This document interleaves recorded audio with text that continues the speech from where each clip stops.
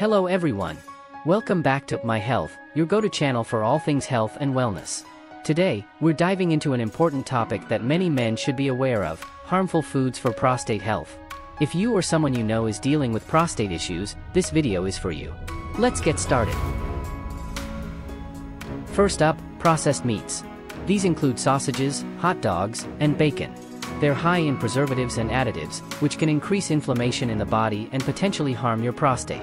Studies have shown a link between high consumption of processed meats and an increased risk of prostate cancer. Next on our list is dairy. Milk, cheese, and other dairy products contain high levels of calcium, which, when consumed in excess, may increase the risk of prostate cancer. It's believed that high calcium levels can suppress the production of a form of vitamin D that protects against prostate cancer. Red meat is another food to be cautious about.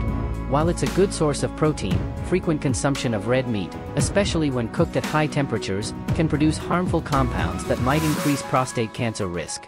Consider reducing your intake of red meats like beef and pork. High-fat foods, particularly those containing saturated and trans fats, can be detrimental to prostate health. These fats can promote inflammation and contribute to obesity, which is a known risk factor for prostate issues. Opt for healthier fats found in fish, nuts, and olive oil. Finally, sugary foods and drinks. Consuming too much sugar can lead to obesity and other health issues, including an increased risk of prostate problems. Sugary sodas, candies, and desserts should be limited in your diet. By being mindful of these foods, you can help protect your prostate health and overall well-being. Remember, a balanced diet rich in fruits, vegetables, and whole grains is key.